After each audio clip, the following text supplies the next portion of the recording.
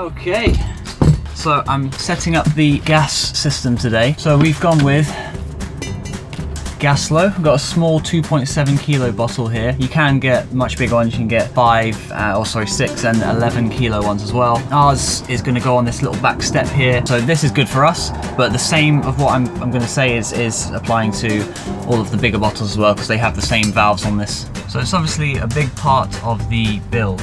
Um, you know, one of the big three, gas, water, electric. You know, you put a lot of money into doing these bits for the van and the utilities and uh, I wanted to go through and explain how all of this works and maybe help anyone who's doing the same thing because there is a lot of information, there are a lot of things that you need to take into account when, when building this, especially if you're going to be going around Europe. You know, everyone has different systems, different valve connections, um, different regulations and all sorts. So we've done all that reading and it's been really hard to find good concrete information or, you know, put it all together. So I'm hoping to put together what we've figured out um, and, and help anyone out.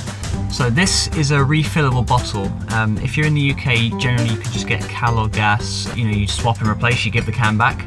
Uh, we keep this can and it's filled up at LPG stations. So, so any petrol station, most will have an LPG section to it and you can just grab the, the nozzle and fill up on these.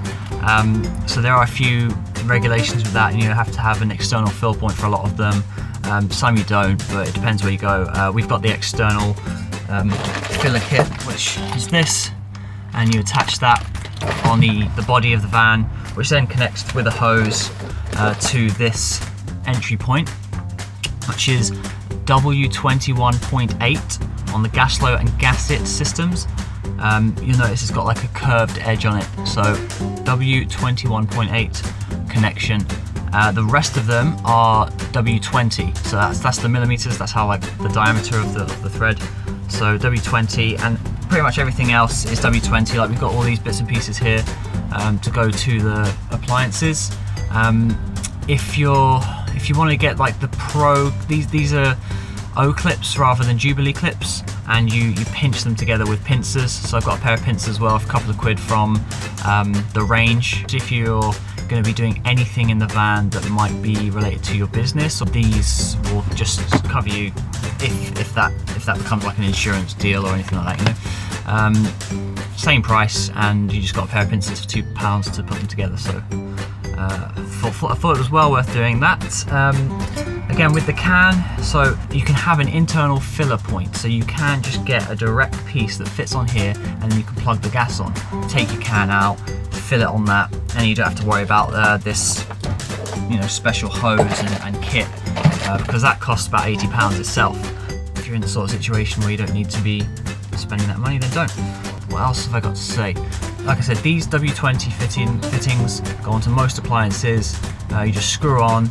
They have um, 8mm bayonets, like kind of um, nipples that these slip onto. And also, the other big thing you need is a regulator. This was a part that threw me off and, and we, like I said, we had to do a lot of research in the end to get this right. This is a 30 M bar regulator, which pound pressure per square inch. Um, so this then connects to this outlet, which is a 8 millimeter compression outlet. So you have to put a copper pipe fixing in that. And that screws in, the metal compresses and it's solid.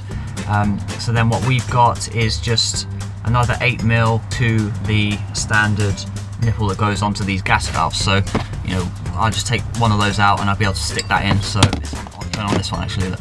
So that'll just go straight in there. Get some silicone spray if it's hard for you to push in, um, but you don't really need to. Just give it a good old shove in it and it will just slip on. So um, that's that.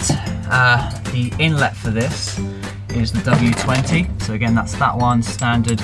Uh, this one will come from the can, but you'll notice that it's actually the same one as uh, that goes on appliances as well. So everything that comes out of your can will be W20, save for this little bit, and then that slips onto your gas line.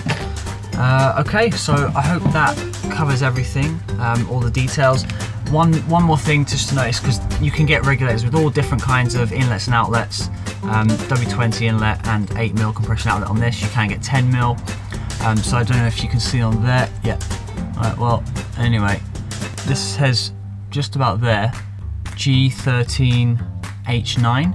Uh, if you look online, you can see a list of all the different outlets and inlets, different threads, metric and imperial. All, all of them have labels and numbers and um, tags assigned to them.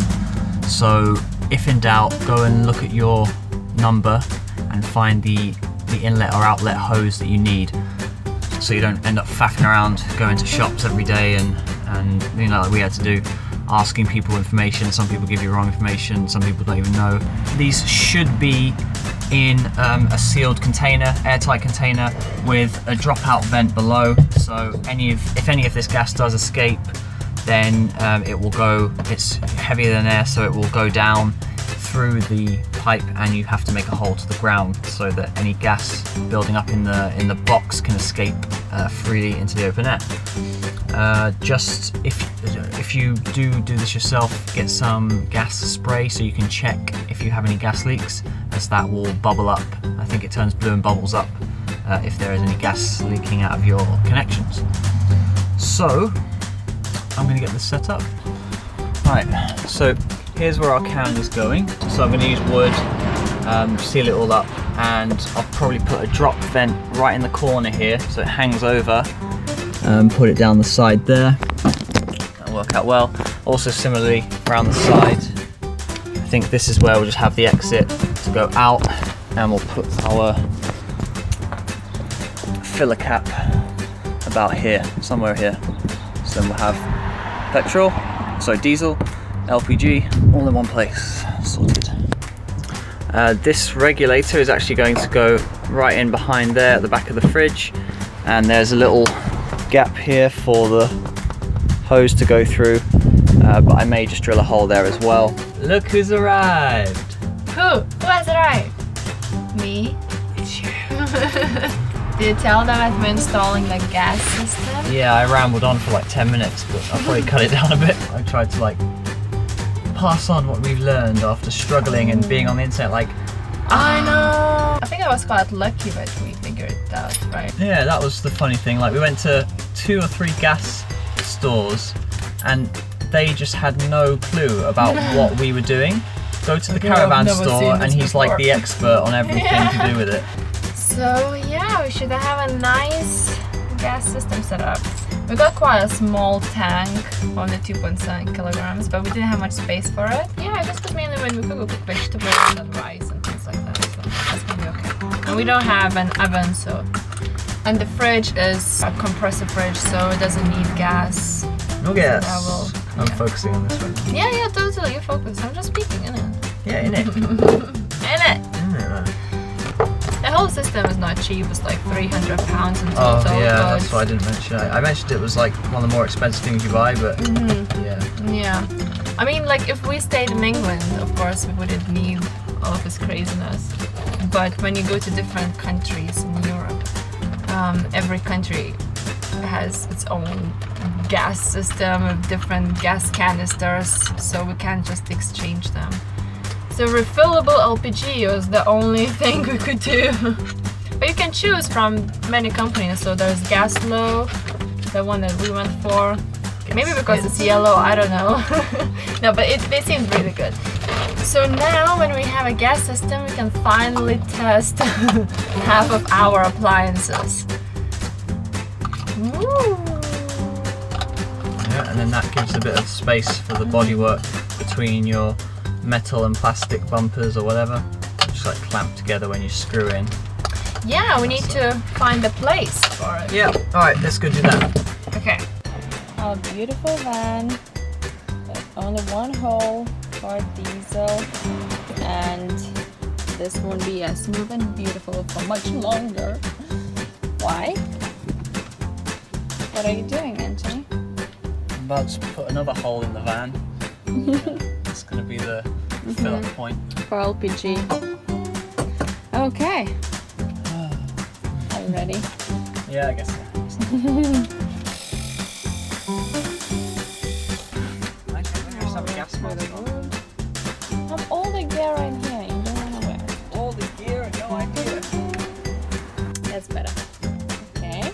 went through the wood. Now we're gonna go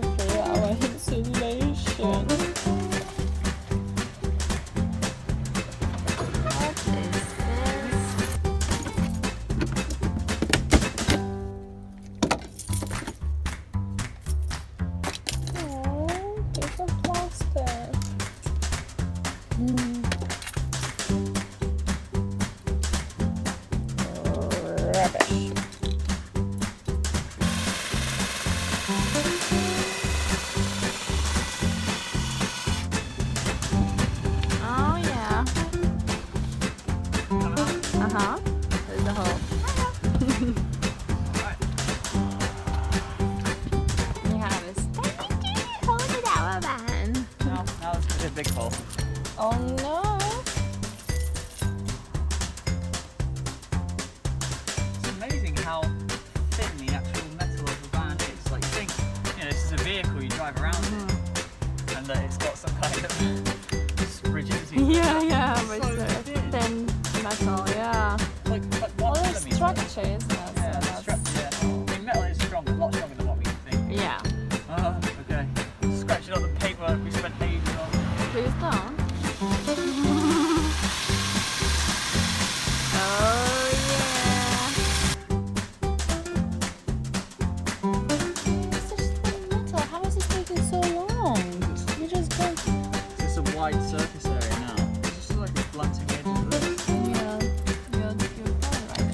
get that other one on it